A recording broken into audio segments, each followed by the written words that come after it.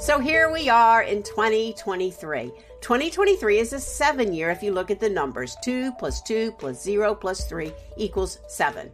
A vibration of spiritual momentum and spiritual abundance. Taking all the spiritual lessons of this past year and now moving it forward. As we see in the tarot, seven is spiritual and mysterious. Seven holds passion and the energy to find the truth, to understand your dreams, understand your spirit, and the human being's need for purpose. So let's take a moment and slow down, tune into our spirit, and allow for the cards to offer guidance for this amazing year ahead.